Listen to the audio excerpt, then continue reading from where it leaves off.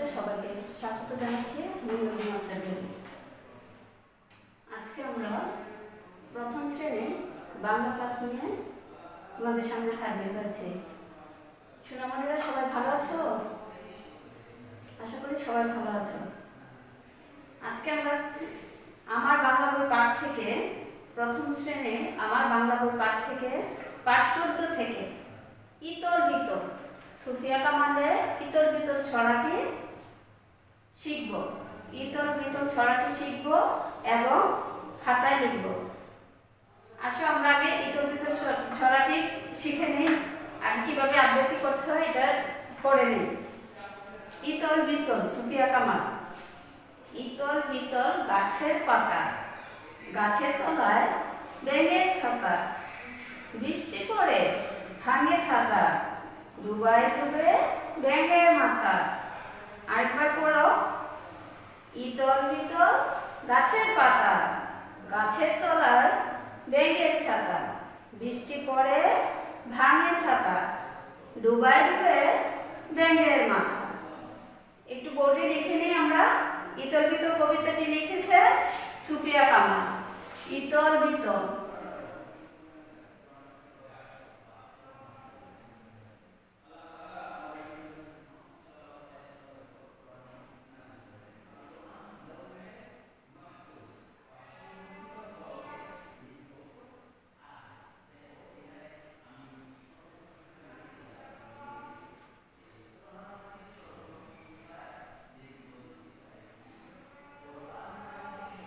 কবিতাটি লিখেছেন সুফিয়া কামাল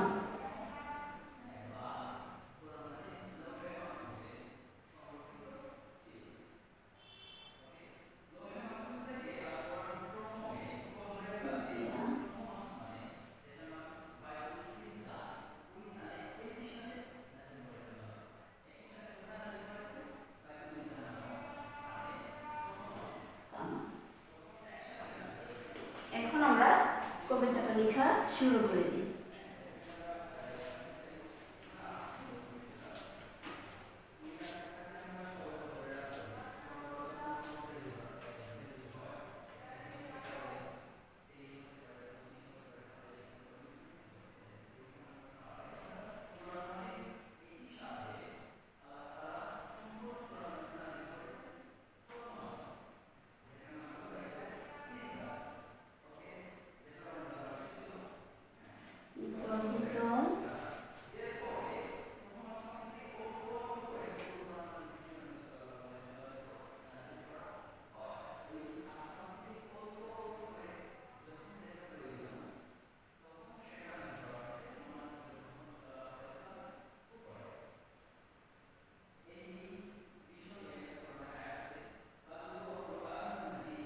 গাছের পাতা।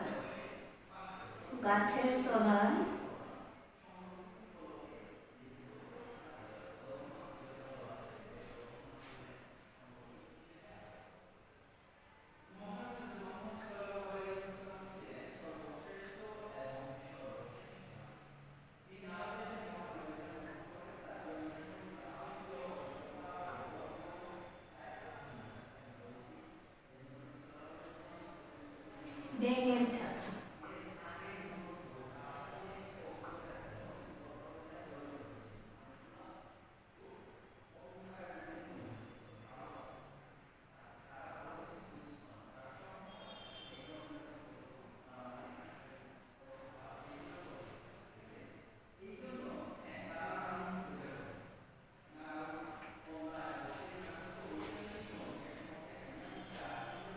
10 год.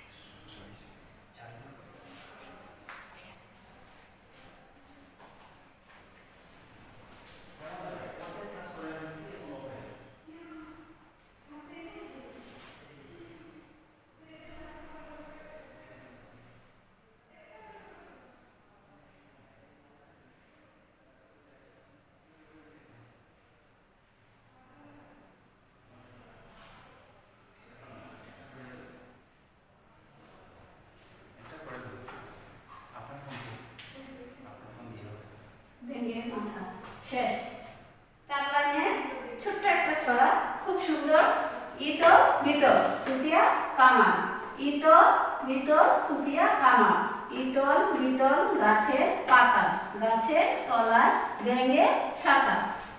বৃষ্টি পড়ে, ভাঙে ছাতা, ডুবায়, ডুবে ব্যাঙের মাথা।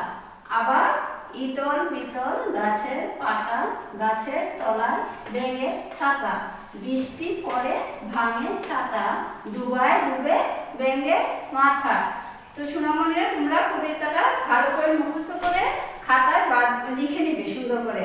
এখন দেখো, দেখি ও বলি। বইয়ে আছে, দেখো, ইলিশ। ইলিশ এখানে লাল অক্ষরে রসই দেয়া আছে মানে শূন্যস্থান। দেখো, এখানে ইলিশ মাছের ছবিটাতে মাছ আছে, দেয়া আছে, মনে করো লরিস ক্যান্ডি তালিবাস লরিস ক্যান্ডি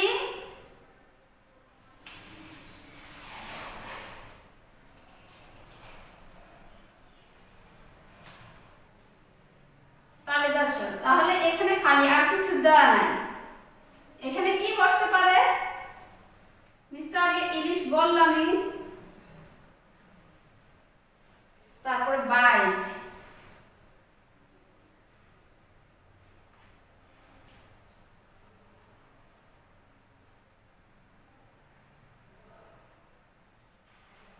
তারপরে আরেকটা আছে খাই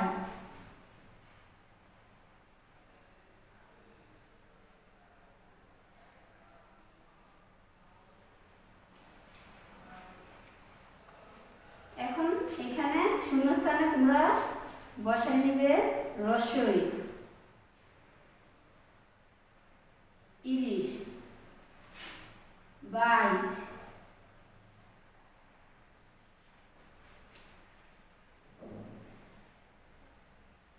প্রত্যেকটাতে রসই হয়ে গেল। ইলিশ বাইচ খাই। ইলিশ বাইচ খাই। বই আছে? ইলিশ বাইচ খাই।